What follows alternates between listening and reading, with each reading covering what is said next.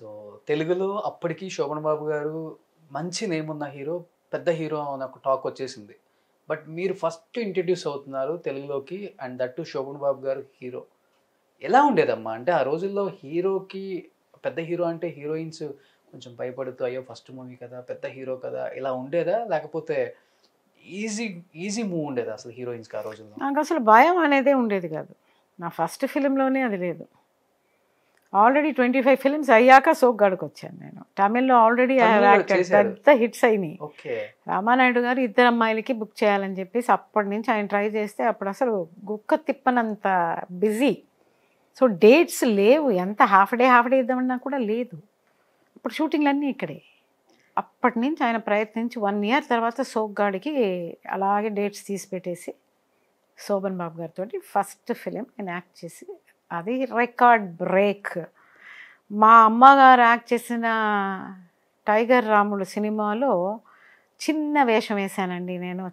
చెట్లోంచి తొంగి చూస్తాను అన్నారు Sobhan Babu garu first day. It shows his magnanimity అది చెప్పవలసిన అవసరం లేదు ఆయనకి. బట్ ఎంత సింప్లిసిటీ పర్సన్ అంటే ఇది చెప్పి నన్ను వాళ్ళతోటి అలా మిక్స్ చేసుకొని మీ అమ్మగారితోటే నేను యాక్ట్ చేశాను అని చెప్పి నేనేమి కాదు అన్నట్టుగా బిహేవ్ చేసేవాళ్ళు. బట్ నాకు భయం అనేది ఎప్పుడూ లేదు.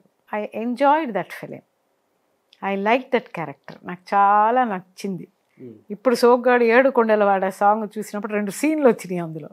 సో ఎలా యాక్ట్ చేశాను అనేది చూస్తే I did justice I did the right thing for the character అని అనిపించింది నాకు.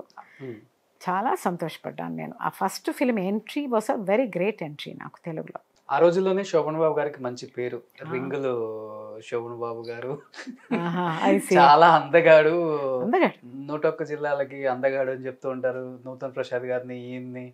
అసలు ఈయన అందం ఎవరికి లేదని చెప్తుంటారు హీరోస్లో కూడా ఆ రోజుల్లో శోభన్ బాబు గారు. ఎలా ఉంటారమ్మా ఈయన అసలుకి? పర్సనల్గా ఎలా ఉంటారు? ప్రొఫెషనల్గా ఓకే. పర్సనల్గా ఎలా ఆర్టిస్టులతో టెక్నీషియన్స్తో ప్రతి ఆర్టిస్ట్కు చెప్తారంట ఒక రూపాయి వచ్చిందంటే భూమి కొనుక్కోండి. ఇలా చెప్తూ ఉంటారంట ఆ రోజుల్లో. నాకేంటంటే మాట్లాడడానికి స్కోప్ ఉండేది కాదు. నా వర్క్ వల్ల సోగ్గాడు మంగళగిరిలో వచ్చి సోగ్గాడే ఆ పాట తీస్తూ ఉన్నారు. నా చిన్న తమ్ముడు పుట్టాడు. సో చార్టర్డ్ ఫ్లైట్ అరేంజ్ చేశారు. ఆ వన్ అవర్లో వెళ్ళి చూసేసి వచ్చాను. వచ్చిన తర్వాత సాంగ్ ఫినిష్ చేసుకుని వెళ్ళిపోయాను. ఇలా రావడం యాక్ట్ చేయడం పోవడం ఆ మధ్య మధ్యన షార్ట్లో మాట్లాడడమే అంతేగాని అబ్జర్వేషన్గా కూర్చుని వాళ్ళతో మాట్లాడే అవకాశాలే లేవు. బట్ నేను చూసినంత వరకు is a man simplicity simple man ఒకసారి కారులో వెళ్తున్నప్పుడు జయచిత్ర గారు ఇవన్నీ నా భూములేనండి. ఇవన్నీ కొనేశాను. ఓకే. ఇవన్నీ నేను కొనేశాను అంటారు నవ్విస్తారు అన్నమాట okay. So సౌత్లోనే one of the richest real estate place real estate very wisely invested very simple man but ఆయన చెప్పినప్పుడు అనిపించింది మనం కూడా కొనేయాలని ఇవన్నీ భూములు. అప్పుడు నేను చాలా చిన్నదాన్ని. చూసి నవ్వుతూ వదిలేసాను దాన్ని. అంతే. I don't understand what it was ఇవన్నీ నా భూములు అంటే ఏదో చెప్తున్నారు. ఓకే నవ్విస్తున్నారు కాబోలు. ఓకే.